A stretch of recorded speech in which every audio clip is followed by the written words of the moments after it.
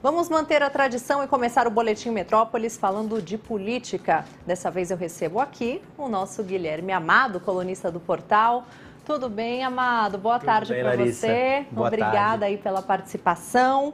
Bom, ontem a gente teve a divulgação de mais uma pesquisa Datafolha, né? Por isso a gente vai dar uma olhada juntos. Vai aparecer aqui no telão, pessoal, a pesquisa Datafolha. Olha só, intenção de votos para presidente, primeiro turno, né? Na estimulada, quando os nomes são apresentados. Temos aqui Lula do PT, 45%, Bolsonaro, 32%, Ciro, 9%, Simone Tebet, 5%. E aqui os demais candidatos que pontuaram 1%. Você quer destacar o que, Amado, para a gente a respeito dessa última pesquisa? É, não, os números mudaram muito pouco no cenário de estabilidade. O Lula variou para baixo, né? A gente fala variou, fala oscilou quando o candidato ele sobe ou desce dentro da margem de erro. Porque aí não dá para a gente dizer que foi um crescimento ou uma diminuição, uma queda. É, o Bolsonaro se manteve, a grande surpresa são Ciro e Simone Tebet. Pode ser, deve ser um efeito Do debate. do debate, Era provavelmente. isso que eu ia te perguntar E agora. das entrevistas ao Jornal Nacional, das sabatinas ao JN.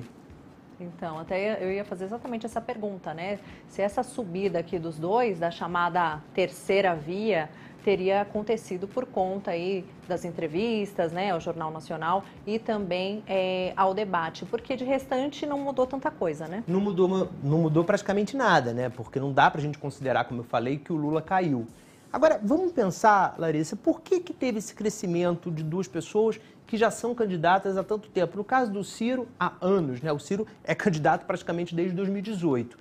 É, porque quando você coloca, por exemplo, o, num debate os quatro juntos, ou numa mesma semana os quatro sendo entrevistados, muitas pessoas assistiram às quatro entrevistas, você percebe que não tem ataques aos dois de temas em que o Bolsonaro e o Lula são muito atacados. Por exemplo, corrupção.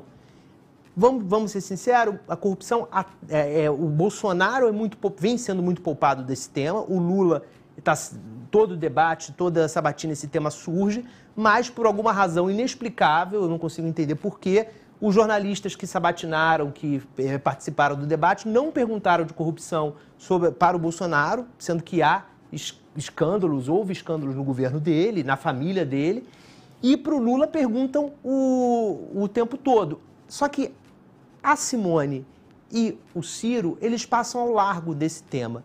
E de outros também, porque eles nunca governaram. Sim. Então, quando o eleitor vê a cobrança no Lula e a cobrança no Bolsonaro e aqueles dois ali que têm um cheiro de novidade, porque de certa maneira, de certa maneira não, eles são novidade porque nunca governaram, o cara que não quer ir numa das duas opções, ele fala assim, Ih, peraí, tem aquele ali que eu não estava prestando atenção.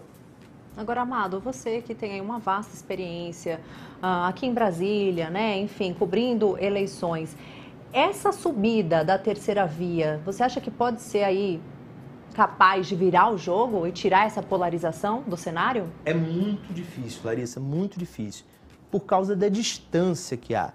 E por causa também da divisão. Né?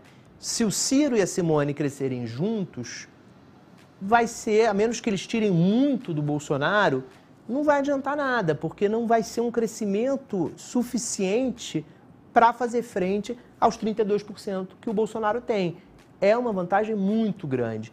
O Ciro ou a Simone teriam que disparar e disparar sozinhos. Se os dois dispararem, não tem porcentagem suficiente. Né? Eles teriam que tirar muito do Lula e tirar muito do Bolsonaro para o crescimento dos dois fazer alguma diferença. Eu não vejo essa, essa eleição da- nos próximos 30 dias, né? menos de 30 dias agora que falta para o. Não, 30 dias hoje, né? Hoje é dia 2. 30 dias exatamente hoje para o pleito. Eu não vejo que dê tempo para um eventual crescimento da Tebet ou do Ciro fazer frente ao tamanho do, do, do Bolsonaro e do Lula.